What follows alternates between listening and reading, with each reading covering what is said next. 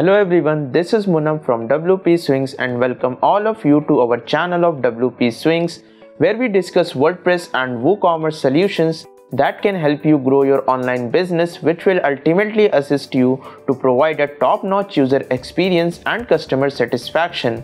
Hence stay tuned with our channel to keep getting back-to-back -back product tutorials and interesting updates.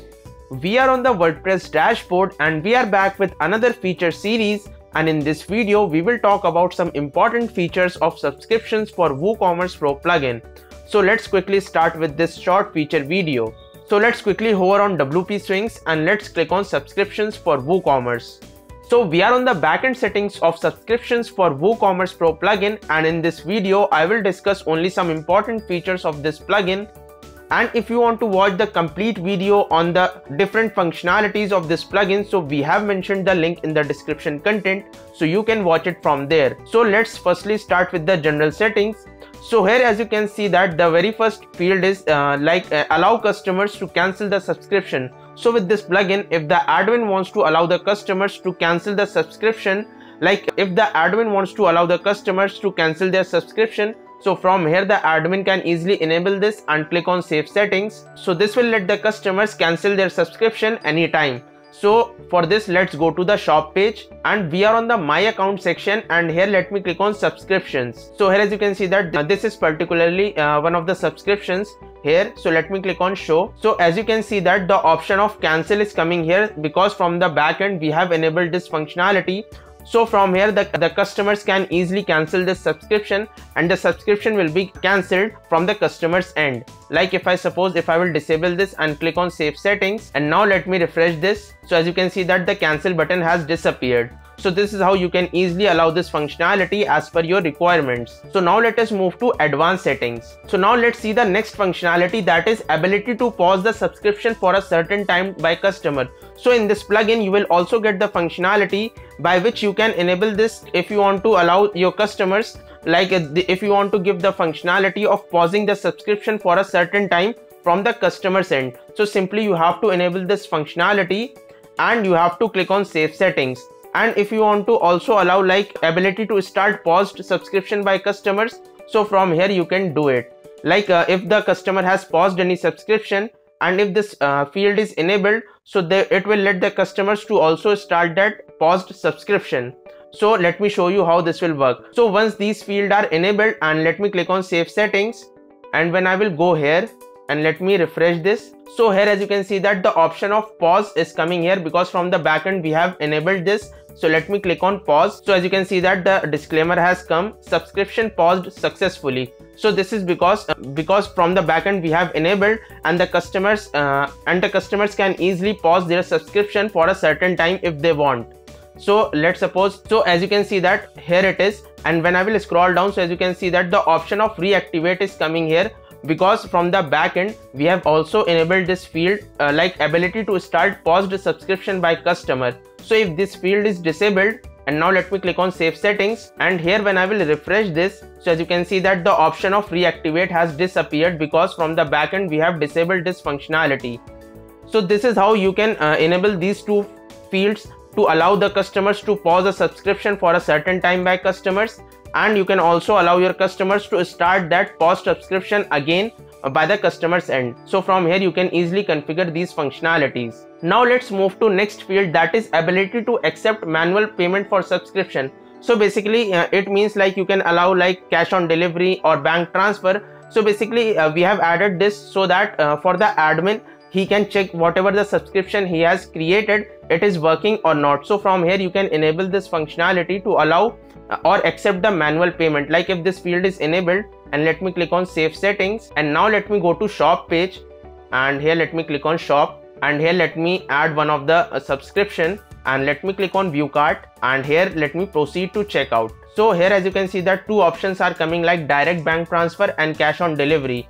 So this is coming because these functionalities have been enabled. So let me uh, like disable this and let me click on save settings. So now let's again go back to the shop page and let me refresh this. Uh, so as you can see that the two options that were cash on delivery and bank transfer they have disappeared because from the backend we have disabled this functionality. So from here you can easily enable it and check your subscription whether they are working correctly or not. So from here you can easily enable this functionality to accept manual payment for subscription. Next if uh, next field is if you want to like uh, enable the functionality to send subscription is going to expire email notification. So from here you can enable this and here you can configure the number of days before subscription is going to expire. Like suppose uh, if the uh, if the customer has taken one of your subscription and it is going to expire in the next month and it is it is going to expire on 28th so if if you have written like two days before so on the 26th an email expire notification will be sent to the customers like their uh, their subscription is going to expire on that particular date. So from here you can easily configure it. And now let me show you how the mail will be uh, received by the customers. So as you can see that this is how the customer will be getting this mail of subscription is going to expire. Like here it is written your subscription is going to expire soon. And here the subscription details will be mentioned. So this is how with this plugin you can also inform your customers about their subscription expiry so that they can get to know at which time their subscription is going to expire so that they can renew the subscription of that particular uh, product or services they have availed. So let's again go back. Now let us discuss next feature that is ability to upgrade or downgrade variable subscription. So you must have seen that uh, one option was coming uh, in the subscription product that was upgrade and downgrade.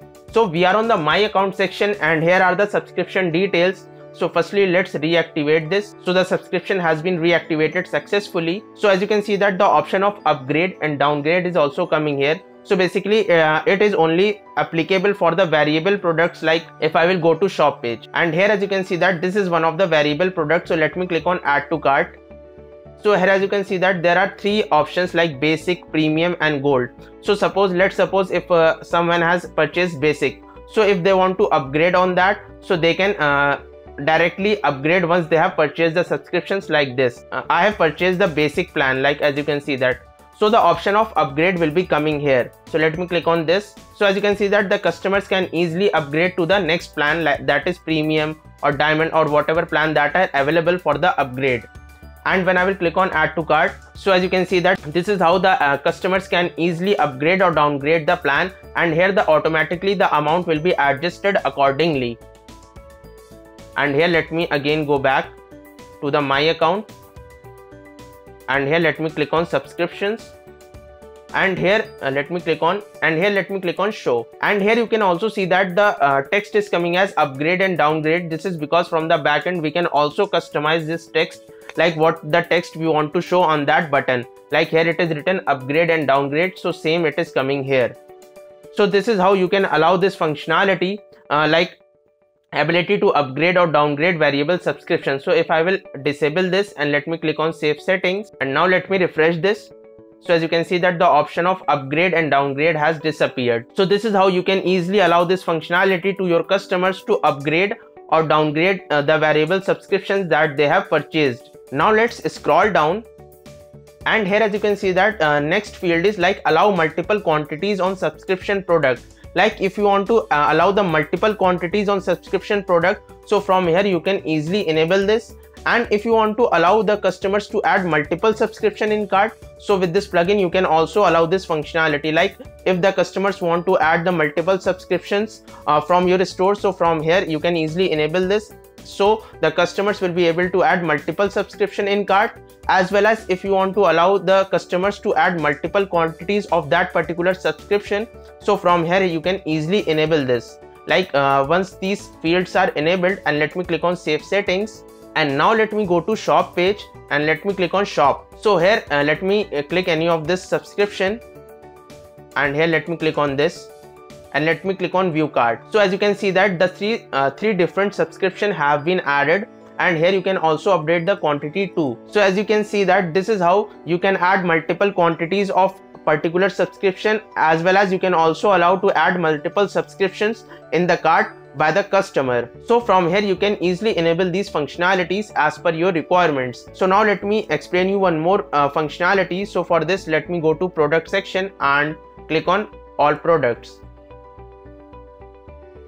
so let me click uh, let me click on any of the so we are on the product section and here let me click on one-time subscription so with this subscriptions for WooCommerce Pro plugin, we have also provided the functionality of one-time subscription uh, so that you can facilitate your customers to provide a subscriptions uh, that the customer has to pay the price only one time. So let's scroll down and here you have to click on subscription settings and here you can see that the option is there like subscriptions price for one-time purchase. So from here the admin can easily enable this functionality and here he can decide the one-time purchase price. So here the admin can decide the uh, one-time purchase price uh, like let's suppose I have decided 200 and here one more thing you have to keep in mind like you have to set the one-time purchase amount that will be greater than the subscription price. Otherwise this functionality will not work. So once you have done all this you have to click on update. So now let's view the product. So as you can see that this is the product that we have created or you have selected like one-time subscription.